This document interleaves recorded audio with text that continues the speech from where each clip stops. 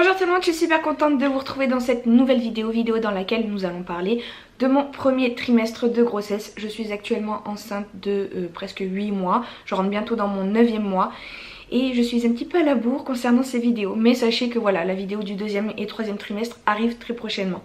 Je vous mettrai également en barre d'infos le lien de ma première vidéo concernant mon premier trimestre pour mon premier enfant.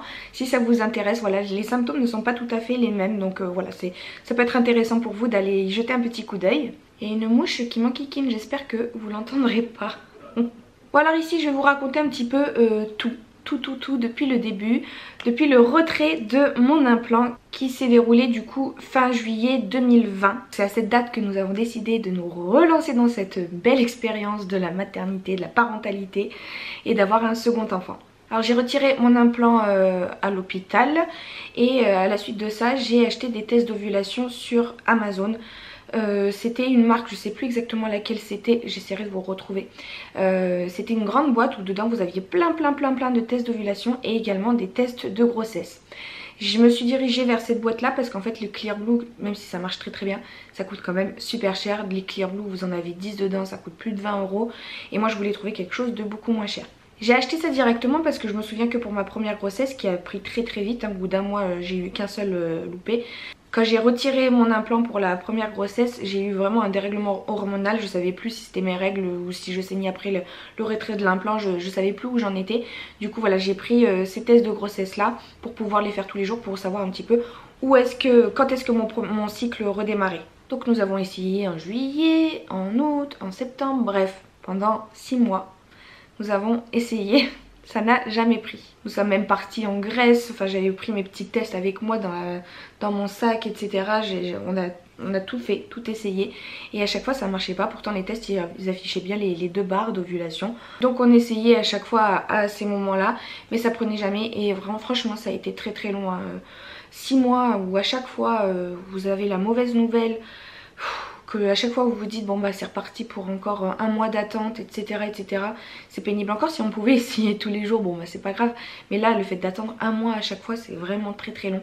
Donc on allait de déception en déception. J'ose même pas imaginer celles qui font ça sur enfin qui arrivent pas sur de plus longues euh, durées ou celles qui arrivent vraiment pas à avoir d'enfants.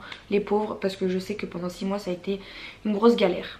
John au bout d'un moment il en a eu marre. Il m'a dit écoute je t'achète les Clear Blue tu me fais le test Clear Blue et ça a pris ça a pris. Bizarrement, ça, ça a pris du coup fin janvier. Je suis, J'ai été fécondée du coup le 25 janvier 2021. Alors comment j'ai révélé ma grossesse à Jonathan? Bah, En fait j'avais prévu à la base de euh, thermocoller euh, un petit mot sur un des t-shirts de Swan avec écrit euh, future grande sœur etc. Sauf qu'en fait John il savait hein, puisqu'on était en train de faire les tests il est venu me voir, il m'a dit alors ça a pris, ça a pris ou pas? Et moi je lui disais non ça a pas pris, j'ai essayé de faire la, comédie. Sauf qu'il m'a pas cru, il m'a pas cru donc il a deviné tout de suite. J'ai été dégoûtée, je voulais lui faire une belle annonce comme j'avais fait pour... Euh, Swan mais euh, bah voilà il m'a pas cru. Et du coup il, était tout content et tout. Franchement c'était un, chouette moment. Mais j'aurais aimé avoir une plus belle euh, façon de lui annoncer que, que comme ça après on l'a pas annoncé tout de suite à tout le monde parce qu'on avait vraiment envie de garder ça un petit peu pour, euh, nous. Donc on, a gardé le secret pendant euh, deux mois et puis après on a, fait l'annonce à, tout le monde. Euh, donc à la belle famille, à mes parents. À mes parents du coup on a fait le petit mot sur le t-shirt. J'ai thermocollé euh, grande sœur à, mes parents. Pareil ils étaient tout contents. Et à ma belle famille en fait on aura annoncé ça le jour de l'anniversaire du grand de, John, parce que John il a un fils d'une précédente union qui a eu 8 ans. Et donc le jour de son anniversaire, je lui ai fait une petite enveloppe euh, qui devait lire à voix haute, où c'était écrit « Je vais encore être euh, grand frère » et donc euh, c'est comme ça que tout le monde, tout le monde a su. Par contre, avant de l'annoncer à tout le monde, il m'est arrivé un épisode. un soir, j'étais assise, je rentrais du travail, j'étais assise sur le, canapé et on discutait avec John et puis d'un coup j'ai senti, bah, senti que j'étais trempée d'un coup. Euh, comme si euh, vous, quand vous éternuez, vous savez que vous ne retenez pas votre pipi et que d'un coup tout pipi partait. bah, j'ai eu cette même impression là et je me suis levée tout de suite, tout de suite j'ai compris que c'était pas du pipi parce que j'avais pas éternué, que j'avais pas toussé, j'avais pas, pas fait pipi quoi, que j'ai vraiment senti du mouillé d'un coup. Donc j'étais à un mois, un mois et demi de, grossesse. Et je me suis levée tout de suite parce que je savais que c'était du sang et euh, je me suis dit je vais pas tâcher le canapé, je sais pas pourquoi je me suis dit ça dans la tête. Lève-toi tout de suite, je vais pas tâcher le canapé. Et j'ai couru aux toilettes Et en fait là j'ai vu une énorme flaque de sang bah, dans mon pantalon. Et alors là autant vous dire que j'ai eu vraiment très très peur. Euh, ça m'a bouleversé, ça nous a bouleversé avec John, euh, franchement on était dégoûtés. Euh, je, m'essuyais pour voir si le sang coulait encore etc parce que ça, ça, avait coulé une grosse fois et puis après quand j'allais aux toilettes ça coulait plus comme des règles vous savez où c'était pas une hémorragie ou quoi que ce soit. Ça s'était arrêté mais quand je m'essuyais c'était rouge et plus je m'essuyais plus le rouge devenait clair. Mais c'était vraiment le rouge rouge sang quoi.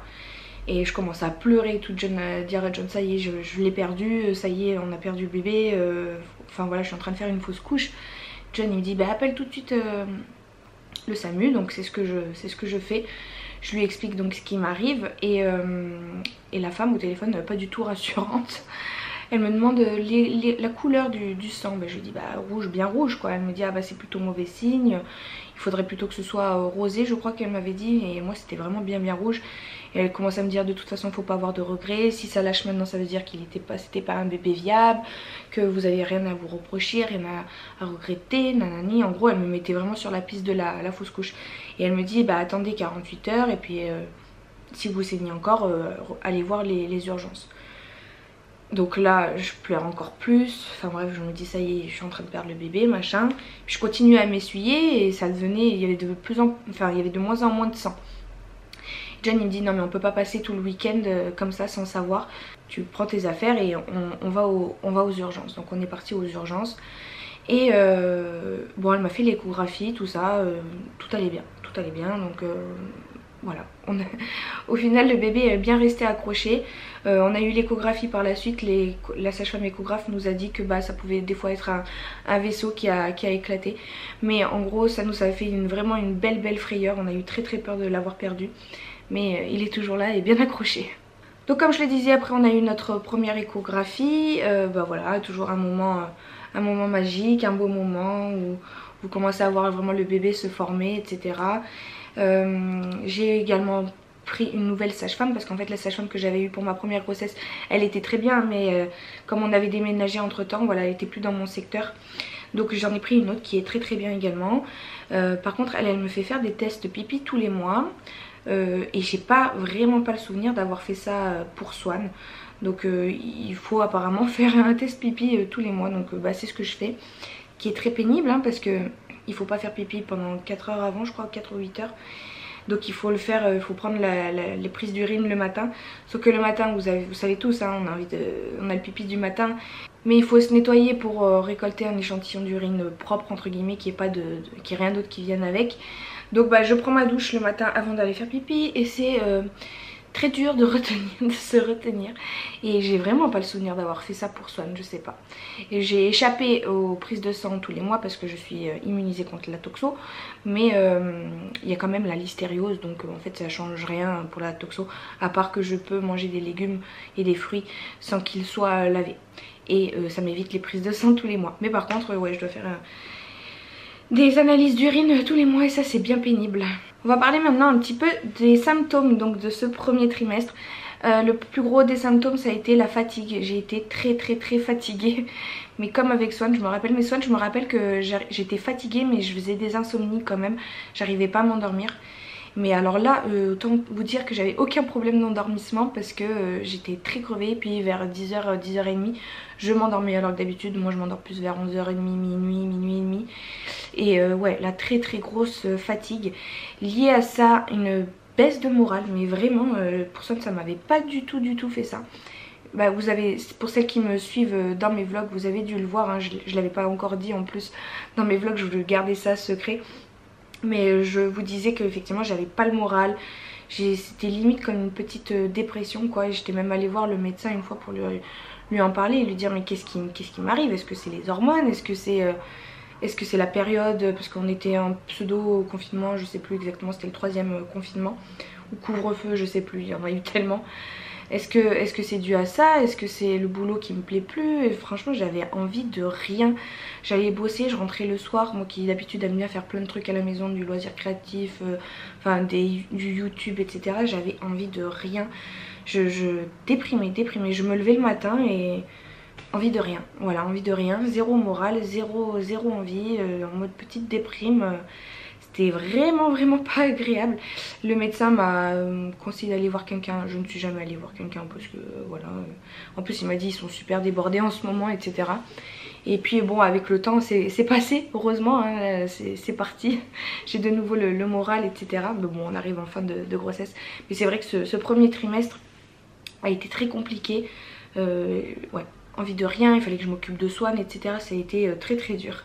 Par contre une chose qui était similaire avec ma première grossesse c'est que j'avais zéro nausée, zéro vomissement, zéro envie, enfin voilà, à ce niveau là euh, très très bien, juste de la très grosse fatigue, un peu de déprime mais euh, physique, des symptômes physiques, euh, à part la fatigue je n'avais pas grand chose. J'avais la poitrine un petit peu plus sensible effectivement, mais pas autant que, que pour Swan. Pour Swan, j'avais également développé une sciatique du côté droit qui m'avait très pénalisée, euh, qui était très pénalisante durant cette euh, première grossesse. Mais là, euh, non. J'ai effectivement senti le nerf sciatique qui se bloquait de temps en temps, mais pas au point que ma jambe me lâche comme pour ma première grossesse. Vraiment, c'est beaucoup moins pire que pour la première grossesse. Donc euh, est-ce que c'est parce que c'est une fille la première et le deuxième là c'est un garçon? J'en sais rien. Est-ce que tous ces symptômes changent en fonction du sexe? Je n'en sais rien. Et puis chaque grossesse de toute façon est différente. Mais c'est vrai que là je sentais un petit peu mon, ma sciatique mais franchement rien de, de très douloureux. C'était très supportable. Par contre une chose que je n'avais pas eu pour Swan euh, c'est de la douleur euh, au niveau de l'aine en fait. Entre les, jambes. Euh, bah, proche de votre kiki mais entre les jambes l'aine quoi hein. j'avais très très mal. J'ai d'ailleurs toujours très très mal et c'est de pire en pire. Mais ça s'est déclaré dès le premier trimestre c'est à dire que j'ai galère à lever mes jambes. Ouais difficulté à lever la jambe pour marcher etc ça me tire vraiment au niveau de, de l'aine. C'était très compliqué ça l'est toujours ça l'est même de plus en plus mais euh, ouais, des grosses douleurs là au niveau de l'aine. La sage-femme m'a dit que c'était tout à fait normal, c'était les ligaments, etc. qui tiraient. Alors j'espère que quand je vais accoucher, je retrouverai ma marche euh, habituelle, c'est-à-dire ne plus avoir mal, ne plus galérer à lever les jambes. Dès que j'étais allongée, je porte mes jambes pour, euh, me lever du, du lit. C'est horrible. Ces douleurs à l'aine là, ça me prend, c'est horrible. Et enfin je terminerai par ma prise de poids. Ce premier trimestre je n'ai pris que 2 kilos. Donc je suis très très contente. c'est très bien, c'est parti sur une bonne lancée. Euh, c'est-à-dire de pas trop prendre 2 kilos. Donc euh, c'est très bien. 2 kilos sur 3 mois de grossesse. C'est parfait. Donc voilà pour ce qui est de mes symptômes, la découverte, les annonces etc. de ce premier euh, trimestre de grossesse numéro 2. J'espère que cette vidéo aura pu vous aider, vous conseiller, vous aiguiller je vous mettrai également en barre d'infos la playlist maternité que j'ai créée où il y a plusieurs autres vidéos concernant bah, la grossesse, la maternité, etc. Si ça vous intéresse. Merci beaucoup d'avoir regardé cette vidéo. N'hésitez pas à vous abonner et à mettre un petit pouce en l'air, ça me fera très très plaisir. Et puis je vous dis à très bientôt. Salut